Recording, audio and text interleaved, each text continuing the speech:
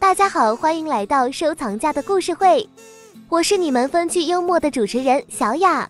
今天我们要聊的是一个群聊里的经典互相伤害的故事，一位阿姨与一位小妹妹的交锋。这场对话堪称群聊史上的战斗艺术。故事发生在一个平静的早晨，本来大家在群里聊得好好的，突然一位阿姨大有风卷残云之势，开始对小妹妹破口大骂，那语言之激烈。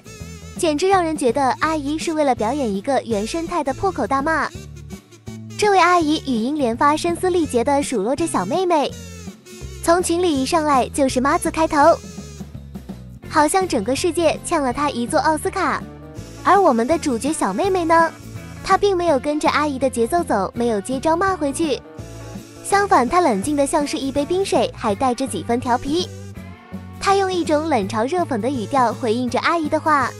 每一句都像是巧妙的反击，阿姨呀，您这语气真是让人如沐春风，感觉像百灵鸟在唱歌呢。小妹妹的回怼让阿姨愈发气急败坏，然而这恰恰是小妹妹的战术，以不变应万变。小妹妹一边淡定的发语音，一边嘲讽着阿姨：“阿姨，您这素质真让人叹为观止，难道是素质教育的漏网之鱼？”阿姨听了，气得直冒火。但越是这样，小妹妹越是不急不躁，继续用她的幽默回敬。这场对话就像是一场没有硝烟的战斗，而胜利者显然是冷静而睿智的小妹妹。她用语言的艺术将阿姨的怒火巧妙的化解，留下了一段令人捧腹大笑的群聊传奇。接下来，让我们一起欣赏这段视频片段吧。时候就是自己吧，这人不一个人能鸡巴咋的了啊？装啥逼的群里边啊？这咋的？你家一不一个人咋的了啊？会说话呀，在群里啊！哇塞，阿姨你好牛逼呀，说话好硬气呀！你以为就你自己会发语音吗？大家都会发语音。我之所以不发语音，是因为还打字。我之所以这样跟你客客气气的说话，是因为我有素质。我可不像阿姨你如此一大把年纪了，说话还如此的难听，真不动听。难道这就是传说中的你是素质教育的漏网之鱼吗？你这个年纪了，应该也有孩子了吧？如果连孩子都没有，操你妈！你妈个死逼！操一个摇汉玩意儿！我操你个死妈！你把你加我微信来，你妈加你，我加你微信，给我通过来啊！你妈个逼的！啊！你把我微信加来，你妈个死逼的，那养汉玩意，操你妈的，你个逼都长死了，我操你妈，你咋骗子生孩子？别加我微信了，你就在群里说呀，你骂的太好听了，让群里剩下的四百多个人都听听，怎么会阿姨这么厉害，说话如此动听的人呢？好像百灵鸟百灵鸟在唱歌啊！我骂的可真好听，你会别的词吗？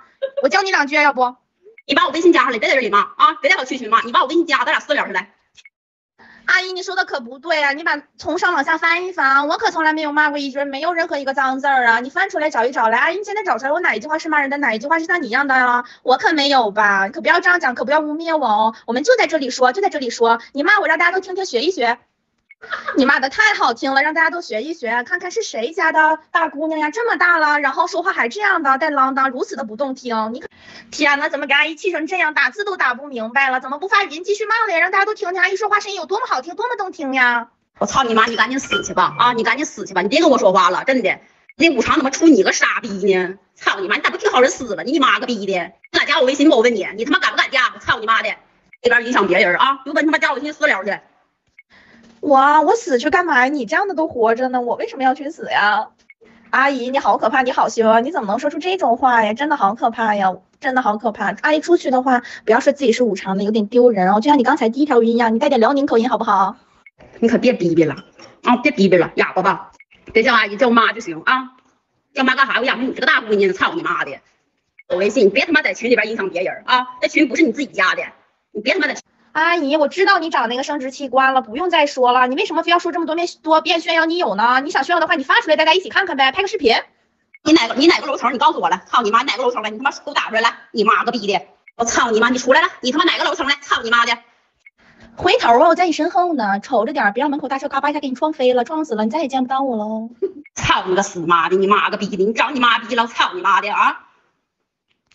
我出去干嘛？你要打我吗？太好了，正好我最近挣的有点少，不知道怎么生活呢。我求求你了，你打我一顿呗！打！操你！要没有老爷们，操！我给你找一个！操你！妈你逼的，给你查死了！我查你滋滋冒血！我操你妈的！你逼你妈个逼的！你出来了！操你妈的！出来他妈干死你！阿姨，你是以这个为生吗？为什么总把这些话挂在嘴边啊？这个是你的收入来源吗？你出来了！你别在群里边装你妈逼啊！别影响别人！你有本事他妈加我微信来！操你妈！你出来！来来来，一会儿你出来，你下楼来啊！啊，我加你微信，你他妈都不敢通过，你通过呀！